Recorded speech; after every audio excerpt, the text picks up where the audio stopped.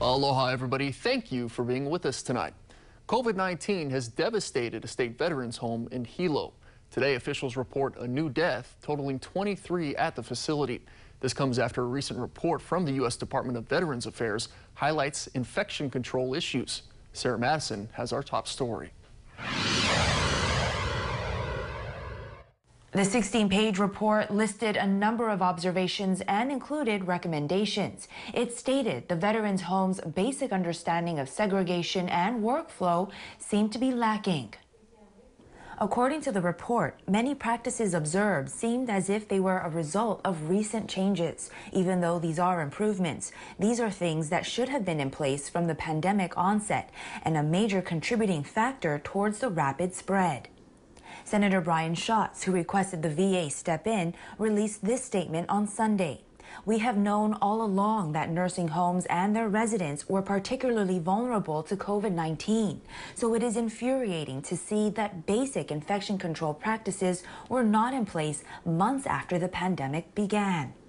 The managing company of the home, Avalon Healthcare, says it has been following CDC and state guidelines. Much of what's in the report goes above and beyond that. You know, thankfully, a lot of them were already in place. The VA team, you know, was there for four hours, and they didn't uh, have a chance to review our training records, our medical records, our pandemic plan, and uh, other things.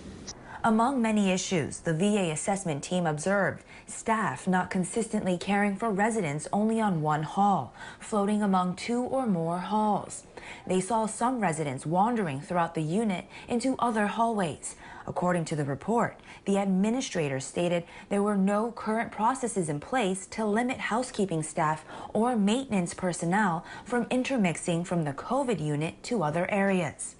Griffith says the home already implemented some of the VA's recommendations, like separating its COVID unit.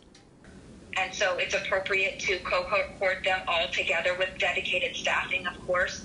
But one of the items that the report recommended was to split that up into three mini subunits and have um, dedicated staffing for each one. We did do that immediately.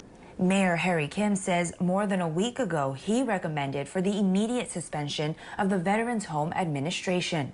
Uh, they just reaffirm things that you feel are not right. That's what it's saying of not acceptable. I mean, I don't have to point to the numbers. You know, it's just something that, you know, it didn't happen overnight. It was a growing and growing thing.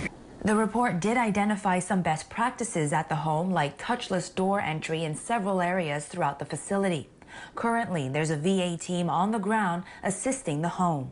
Sara Mattison, KHON2 News, working for Hawaii. Sara, thank you. The number of